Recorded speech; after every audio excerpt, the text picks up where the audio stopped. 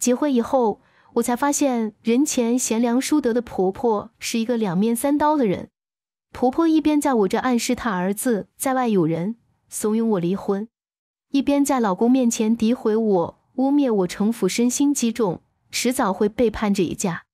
可婆婆不知道的是，老公是个恋爱脑，我妈是个宫斗能手，而我继承了我妈全部的记忆。她这些招数，我最擅长拆穿了。这天我刚加班回到家，婆婆就拉着我到她的房间。欲言又止，妈，您是有什么事情想和我说吗？我看见婆婆脸上犹豫的表情，缓缓开口。婆婆又犹豫了好久，才开口，语气还带着愧疚：“小希，你最近和浩南的感情怎么样？浩南每天都回来的这么晚，你可不要生气啊！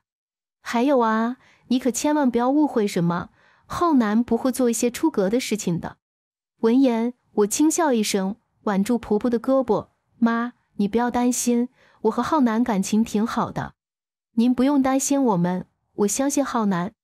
婆婆拍拍我的手，说起了她和公公的婚姻经历。公公婆婆年轻时关系也是很好的，两人一起在外面打拼。后来婆婆怀了陈浩南后，就在家养胎，只剩公公一个人在外面打拼。公公生意越做越大，回家次数也越来越少。直到小三闹到婆婆面前，婆婆才知道公公出轨了。婆婆受不了这个气，就提了离婚。后来没多久，公公就出车祸去世了。公公去世后后，婆婆就一个人抚养陈浩南长大。我和陈浩南结婚后，我觉得婆婆不容易，就提出和婆婆住在一起，好照顾婆婆。陈浩南很高兴，感激的对我说：“老婆，你真好，和婆婆住在一起。”也没有什么矛盾，婆婆很贤惠，也很会照顾人，每次都把家务收拾的好好的，做我们喜欢的菜，等我和陈浩南下班回家吃饭。听到婆婆突然问我和陈浩南的感情状况，我有些疑惑，难道是婆婆怕我和陈浩南也像公公婆婆那样婚姻破裂吗？婆婆语气有些凝重，拉起我的手，妈知道你相信浩南，可是这男人你也不能太相信了。哪个男人不偷腥？女人还是要多替自己考虑考虑，不然没什么好下场的。听到婆婆的这些话，我有些感动。我真没想到婆婆替我考虑的这么多，不仅仔细照顾我，还向着我说话。我向婆婆保证，我和陈浩南感情很好，肯定不会出问题的。不是我太相信陈浩南，只是陈浩南是恋爱脑，什么事情都听我的，连出去应酬吃饭。都会和我报备，安慰婆婆后，我就站起身回房间休息了。我没注意到的是，婆婆脸上僵硬的神色。洗完澡躺在床上，我反思了一下最近的行为，确实最近因为学生期末考试的事情忙得焦头烂额，很少联系陈浩南。而陈浩这几天在忙公司的一个大案子，每天早出晚归，都见不到陈浩南的身影，难怪婆婆担心我们呢。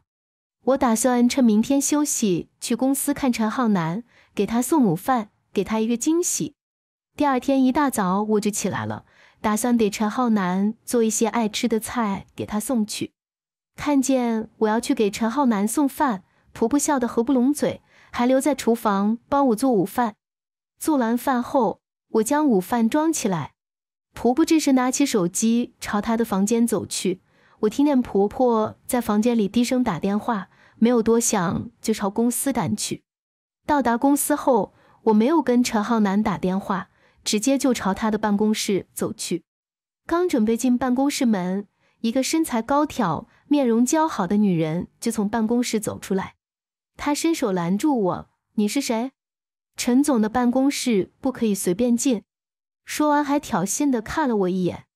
我瞥了他一眼，面色淡淡的开口：“我是陈浩南的妻子。”怎么不能进去吗？他还想说什么，办公室的门打开了，陈浩南从里面走出来。陈浩南穿着白色衬衫，戴着一副金丝眼镜，脸上没有表情的时候显得疏离冷淡。一看见我，陈浩南的眼睛就亮了起来。他大步走过来，拉住我的手，接过我手上的东西。老婆，你怎么来了？都怪我这段时间太忙了，都没去接你下班。我勾了一下唇，安慰老公：“没事的，你忙你的就行。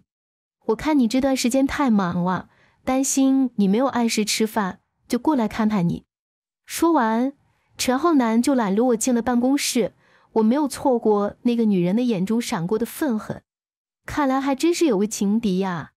进了办公室，我一眼就看见办公桌上的盒饭，看得很精致，不像是陈浩南自己会订的午饭。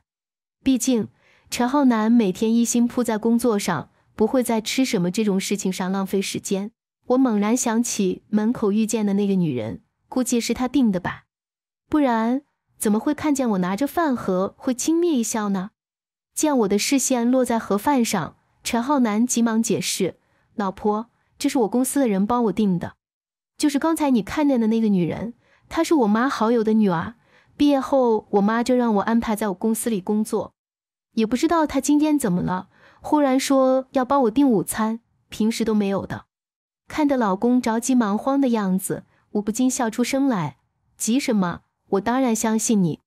从陈浩南口中。”我知道了，那个人叫周楚楚，是婆婆好友的女儿。想起老公说，平时周楚楚都没有给她送饭，偏偏是今天我来的时候给陈浩南送饭。我又想起出门前婆婆躲进房间打的那通电话，我觉得有些不对劲。我的心头浮现一个想法：婆婆该不会是故意让我撞见周楚楚给老公送饭的场景，好让我误会老公和周楚楚的关系吧？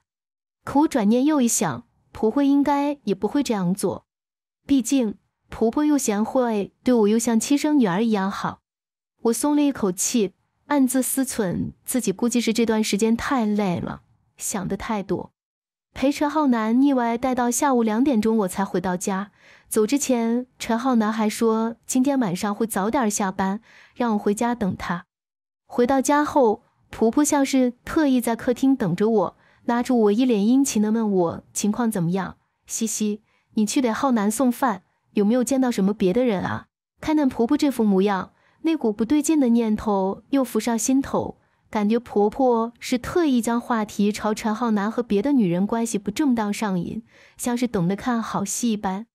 我故意脸上露出一抹娇羞的表情，有些不好意思的说：“妈，哪有什么别的人，我和浩南好着呢。”您可千万别担心。说完，我就偷偷观察着婆婆的表情。果不其然，婆婆愣了半天，随后嘴角扬起一抹僵硬的笑容。呵，婆婆果然不对劲。发现了婆婆的心思，我也没有心情再应和婆婆虚伪的面孔。我和婆婆打了一个招呼，便直接回房间了。晚上，我坐在床上等陈浩南回来，听到老公回来的动静。我刚起身准备去迎接她，就听到婆婆将老公叫到她的房间里去了。我偷偷跟上去，她在门口偷听他们母子二人说话。浩南，你每天回来的这么晚，就不怕宋希要和你离婚吗？我可看宋希每天打扮的花枝招展出门，你可千万要注意一下，说不定宋希在外面有人了。陈浩南听到这话，下意识的反驳：“妈，不可能的，西西这么爱我。”况且西西不是那样的人，她肯定不会出轨的。您多心了。听到婆婆的话，一股怒气顿时涌上心头。我没想到平时婆婆在背后就是这样说我的。我刚准备推门进去大骂一通，可转念一想，我现在没有证据，就是进去了也没有办法拆穿婆婆虚伪的面容，还会被婆婆倒打一耙。我蹑手蹑脚的回到房间，打算看看婆婆还有什么花招。我感到一阵心寒。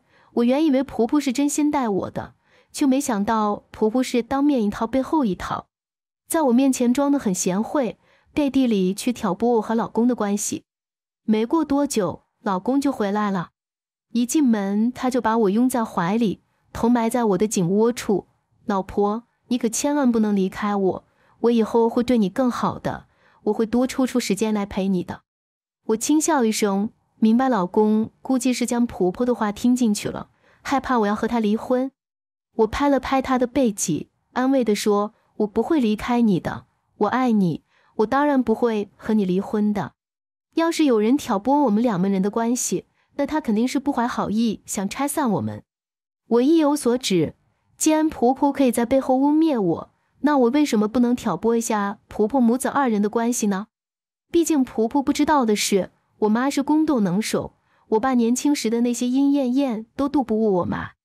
我妈也是有本事，我爸年轻时那么不安分的一个人，现在老老实实的守着我妈在家过日子，而我作为我妈的女儿，自然继承了她所有的记忆。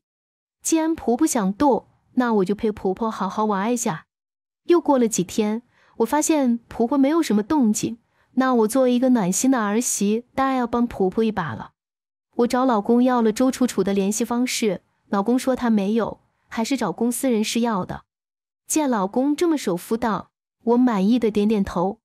一见面，周楚楚就一脸轻蔑的看着我：“你找我干什么？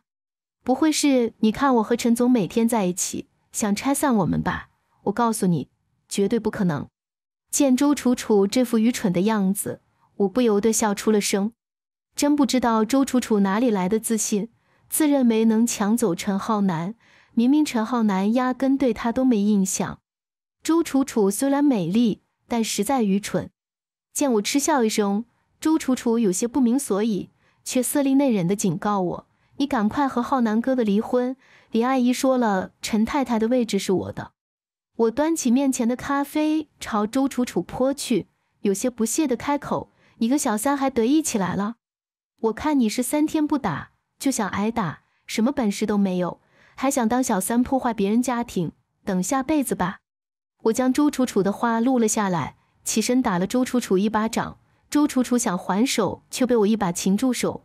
我拍了拍周楚楚的脸：“你别惹我，姐可是练过散打的。”警告完周楚楚后，我就径直回了家。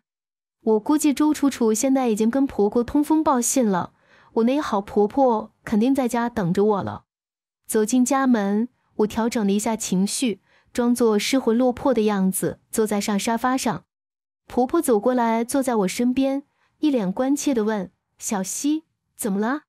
我都给婆婆搭好了戏台子，就看婆婆能不能好好唱一出大戏了。我委屈又无助地说：“妈，怎么办？”浩南最近和公司里的周楚楚走得很近，我刚才去找周楚楚了。他说：“您说希望他当陈太太。”妈，您是对我不满意吗？婆婆嘴角露出一抹机不可察的微笑，随后又一脸心疼的看着我，仿佛心疼我极了的样子。小希，妈不是对你不满意，妈可喜欢你了，但就是我们没有做婆媳的缘分啊。看了婆婆。我觉得婆婆这演技真是不错，要不然我怎么会那么长时间都没识破婆婆的真面目呢？婆婆叹了一口气，缓缓开口：“小希，妈真是对不住你。浩南早就和我说他对楚楚有好感，就是不知道怎么和你说。都说儿子和父亲是一个模子了刻出来的，这句话可真没说错。我们家浩南可真对不住你。男人一次不忠，终生不用。”说完。婆婆颤颤巍巍地找出手机里陈浩南和朱楚楚接吻的照片，我一看那照片就明白那是找角度借位拍的。没想到婆婆为了拆散我和老公，还费了这么大的功夫。我明白婆婆这是在暗示我陈浩南出轨了，指望我和陈浩南闹起来。那我就这么一个婆婆，自然是要满足婆婆的要求的。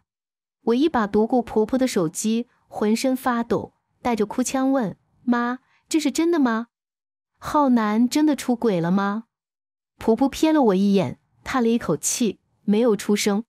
我拿出手机给陈浩南打过去：“陈浩南，你快回家，我要和你离婚。”说完，我就挂断了电话。余光中看见婆婆露出一抹如释重负的笑容。不一会儿，老公就火急火燎地冲进家门，他一把握住我的手腕，质问道。宋希，你为什么要和我离婚？我是做了什么让你不高兴的事情？我改还不行吗？陈浩南急切的声音中透露着浓浓的不安与祈求。我有些心疼，但仍然装作一副恼怒的样子。毕竟这场戏还是要继续演完的。我甩开陈浩南的手，冷冷地说：“你说我为什么要和你离婚？还不是因为你出轨了？”我将手机中的照片给老公看，老公一看照片就慌了，他急忙解释：“我没有，老婆这是借位拍的，我没有让周楚楚靠近我的。照片谁给你的？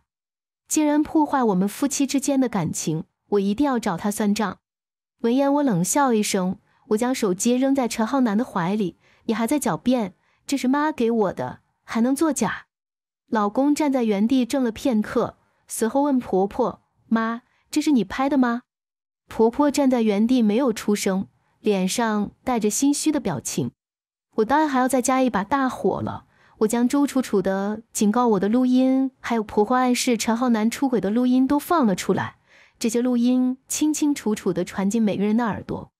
陈浩南卓然而立的身子晃了一下，随后他大声质问道：“妈，你为什么要这么做？你为什么要拆散我和西西？”婆婆愣了愣。当下摔坐在地上，一边嚎啕大哭，一边捶腿。我还不是为了你，你这个没良心的！你要不是我儿子，我才不会替你打算呢。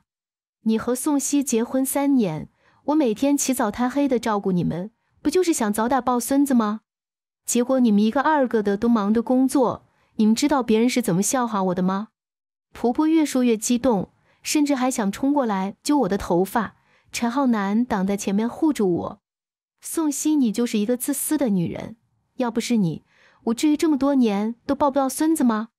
我这个傻儿子还一直护着你，真不知道我是倒了什么霉，才有了你这个儿媳妇。看着眼前的婆婆，我感受到陌生。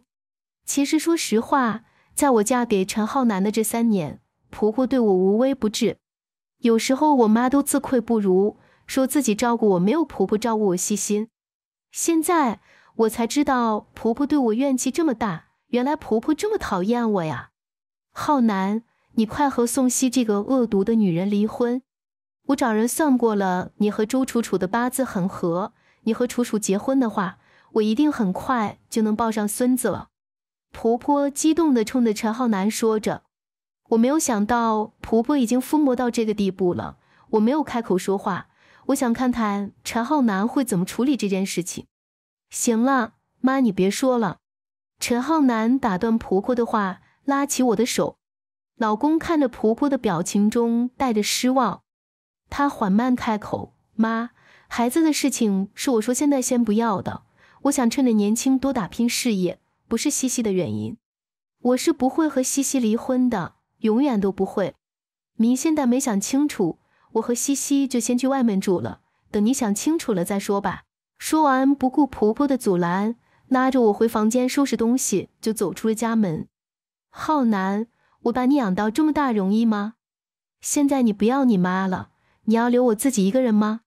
婆婆站在门口撒泼打滚的哭诉哀求着，老公没有回头，也没有停下脚步，只是留下一句：“妈，我不是不管您了。”等您什么时候认识到自己做错了，我们就会回来的。上车后，陈浩南拥住我，语气中带着愧疚：“老婆，对不起，你受委屈了。”看着陈浩南一脸委屈的表情，我心头一软。我抬头摸着他的脑袋，安抚着：“没事，这件事情和你无关。其实婆婆对我什么态度不重要，只要眼前的这个男人站在我身边就可以了。再说……”眼前的这个男人无条件的维护着我，我也没什么委屈的。只不过婆婆的这笔账我不会这么算了。要不是我那天晚上听到婆婆跟老公说一些挑拨离间的话，我也不会发现婆婆是一个两面三刀的人。要是没有发现婆婆的真面目，说不定我和陈浩南真的要被婆婆挑拨的离婚了。所以这个仇我自然是要报的。第二天等陈浩南去上班后。我又买了一些礼物回了家，不过不是去找婆婆，而是去找邻居王婶。一进门，我就将礼物放在茶几上，然后趴在王婶膝盖上哭。王婶，你说我该怎么办啊？我这日子可真过不下去了。王婶也是一个热心肠，一听我的哭诉，急忙将我扶到沙发上，做询问我发生什么事情了。我一五一十的将婆婆做的事情跟王婶说了，在一些细节上还添油加醋了一番。王婶一听婆婆干的事情，气得不行，她一拍桌子大骂道：“这个林月娥真是老糊涂了，放着这么好的媳妇不要，还撺掇着儿子和儿媳妇离婚。王婶越说越气，她年轻的时候也是被婆婆折磨的痛苦不已。艾姨笑道：“王婶也不敢反抗，只能任由婆婆欺负。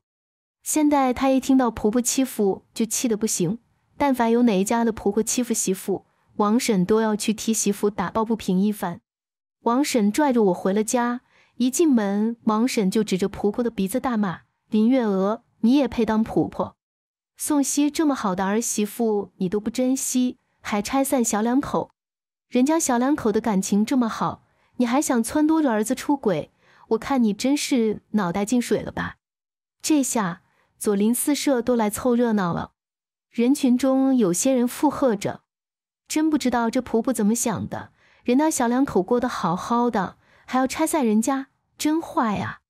是啊，是啊，这林月娥平时看的这么贤惠，没想到心肠这么黑，真是人不可貌相。听到这话，婆婆低着头攥着衣角，一副可怜巴巴的样子。哎，我也不是要专门拆散他们小两口的，只是宋熙嫁过来已经三年了，还没有生下一儿半女。要是他们一直都不要孩子，我也没有脸去见牧师的老陈，我可真不知道怎么和老陈交代了。我还不如去死了算了。有些大妈看着婆婆这副可怜的模样，有些不忍心。要我觉得林月娥也没什么错，哪家媳妇嫁进门三年还不怀孕的？反正这要是我家的媳妇，我也受不了。是啊，是啊，幸亏我家没有这样的媳妇。我没有预料到婆婆这么快就化解了困境。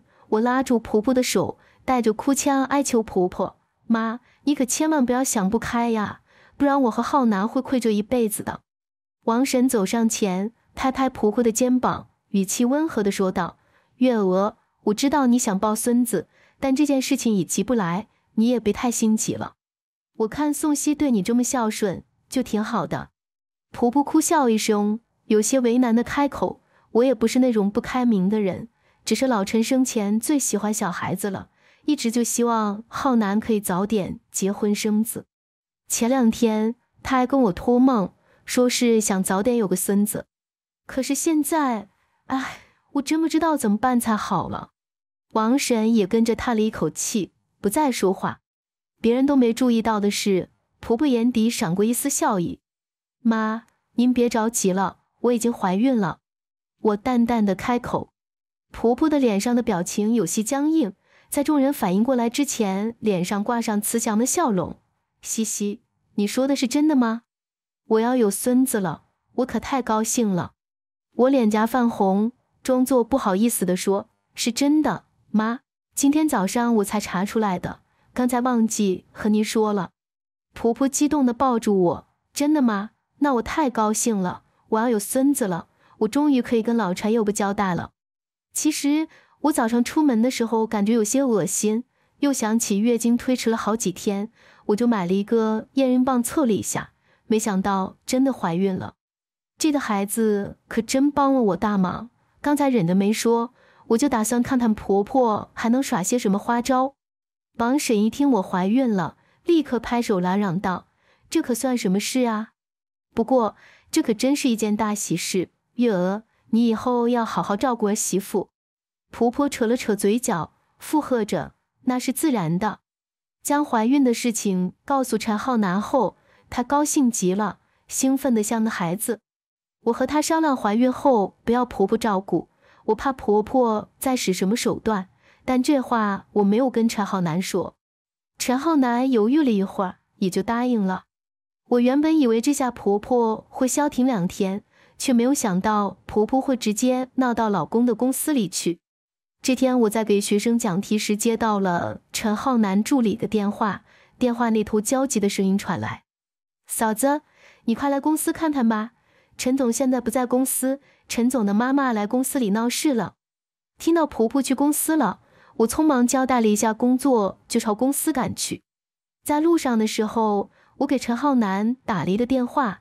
让陈浩南赶紧回公司。等我赶到公司时，婆婆正坐在地上撒泼打滚。哎呀，我真是命苦啊！怎么有这样的一个儿子，把人家小姑娘的肚子搞大了还不负责？我可真是命苦。大家来评评理，我可真不知道该怎么办了。周楚楚在一边红着眼，哭得梨花带雨的。陈浩南公司里的同事都围着婆婆，有些小姑娘还小声嘀咕着：“应该不可能吧？陈总不是这样的人。”可是陈总妈妈总不会瞎说吧？这样对陈总妈妈也没有什么好处呀。我不允许有人这么抹黑陈浩南，他工作认真，洁身自好，不应该遭他亲妈这样抹黑，毁坏他的名声。我拨开人群，走到婆婆身旁跪下：“妈，我知道您不喜欢我，对我不满意，但你也不能这样污蔑浩南啊！浩南洁身自好，大家都是知道的。您无凭无据，怎么能说浩南出轨，还让别的女人怀孕了呢？”我一边说，一边擦着眼泪。周围的同事听到我的话，也纷纷附和着：“是啊，陈总这么爱他老婆，怎么可能去找小三呢？我看就是那个女的嫉妒陈总和他夫人感情好，故意破坏他们两个人的感情的。”听到周围的话，婆婆脸色有些发青，梗着脖子说：“怎么没有证据？这就是证据。”说完，婆婆将一张纸扔到我面前，我捡起一看，发现是一张怀孕检查单。上面写着周楚楚怀孕了，而且已经怀孕三个月了。那段时间正好是周楚楚刚进公司，陈浩南每天加班的时候。婆婆冷笑一声，嘲讽道：“我们陈家有后了，我找人算过了，楚楚肚子里怀的是个男孩，到时候这个孩子就是陈家的嫡长孙。你自己识趣一点，赶紧和浩南离婚吧。”这时，陈浩南斩钉截铁的声音传来。周楚楚的孩子不是我的，而且我绝对不会和宋希离婚的。婆婆一听这话就不干了，紧紧的咬着牙，眼底凝的压抑的不甘。楚楚的孩子怎么可能不是你的？陈浩南一脸失望的盯着婆婆，将跪坐在地上我扶起来。妈，我以前做了结扎手术，一个月前才做疏通，所以周楚楚是不可能怀上我的孩子的。见婆婆还是一脸不相信的样子。我将手机里周楚楚和别的男人去酒店的照片找出来给婆婆看。早在我约周楚楚见面之后，我就找人调查了周楚楚。周楚楚才没有像表面那样单纯，她为了要钱，早就跟那几个大老板当小三。其中有几个老板估计比他爸爸的岁数都大，好不容易遇见一个年轻有为、高大英俊的陈浩南，他肯定要不顾一切的抓住陈浩南吗。至于怀孕，那应该是真的怀孕了，不过肯定不是陈浩南的。要是问肚子里的孩子是谁的，估计周楚楚自己都不清楚。看到照片，婆婆冲过去揪住周楚楚，大声质问：“你肚子里怀的到底是谁的孩子？”周楚楚一脸委屈，眼睛含着泪盯着婆婆：“阿姨，你听我解释。”这时婆婆哪里还能听得进去周楚楚的解释，直接扇了她两巴掌。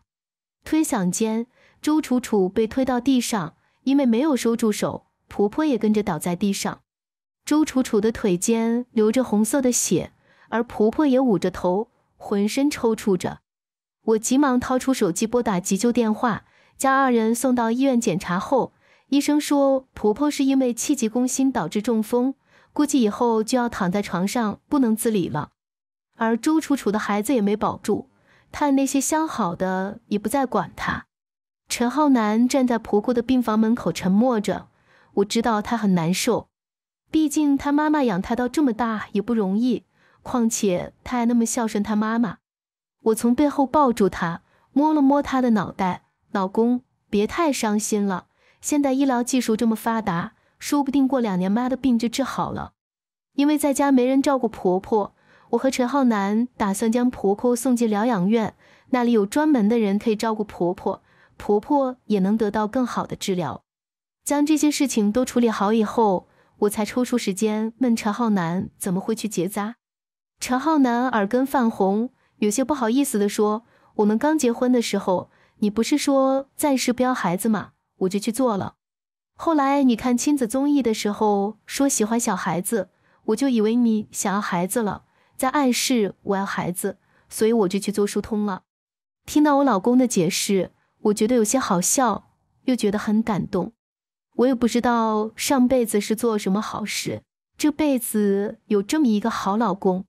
孕期陈浩南对我无微不至，要是我半夜想吃什么东西，他二话不说就起床去给我做。怀孕时孕吐，我什么东西都不想吃，陈浩南就会耐心的哄我，一口一口的喂我吃。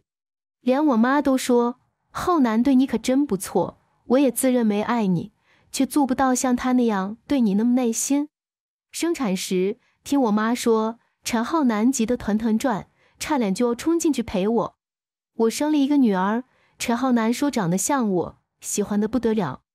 等女儿稍微大一点以后，陈浩南带着我和女儿一起去看了婆婆。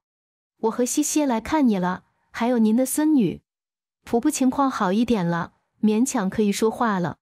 看女儿对她笑以后，婆婆冷笑一声，磕磕巴巴的说：“这她不是，不是我的孙女。”老公又将女儿凑近到婆婆身边，耐心地说：“妈，这就是你的孙女，小木西是我的女儿，肯定就是您的孙女。”婆婆一把将老公推开，粗暴的动作吓到了女儿，木西张着嘴哭了起来。一听到女儿哭了，我心疼的不得了，立刻将女儿抱在怀里哄着。老公有些不解的问：“妈，您不是想要孙子吗？现在有了小木西，您怎么还不开心？”